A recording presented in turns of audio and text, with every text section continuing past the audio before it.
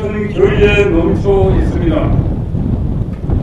일찍이 여부의 수령님의 숭고한 뜻을 받들어 조통일 이역을 완수하는 것을 필생의 사명으로 간직하신 위대한 장로님께서는 평명생의 전 기간 어느 한순간도 조국 통일에 대해 잊으신 적이 없으시었으며 비범한 사상기념과 백승의 성문혁명 용도로 결의 조국 통일 운동을 승리의 한 길로 이끌어 오시었습니다.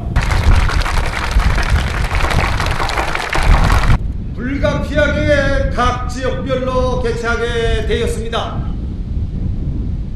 6.15 공동행사는 6.15 공동선언의 미행을 통해 현재의 대결 국면을 시급히 해소하고 민족의 화해와 단합, 평화와 통일이기를 열어나가려는 6.15 민족공동위원회의 정당한 노력이었으나 불가피하게 분산 개최하게 된 것을 매우 안타깝게 생각합니다.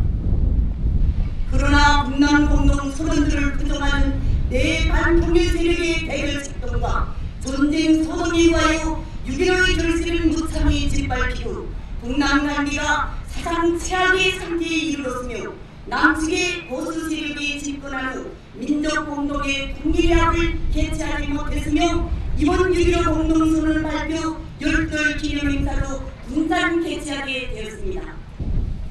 위대한 김종일 장모님께서 6.15 북남 공동선언을 마련해 주심으로써 우리 결의는 비로소 성장 한 세기를 망국과 전쟁, 분열로 이어온 순환의 역사를 밀어내고 민족적 화해와 단합, 평화와 통일의 새 시대를 열어놓을 수 있었다.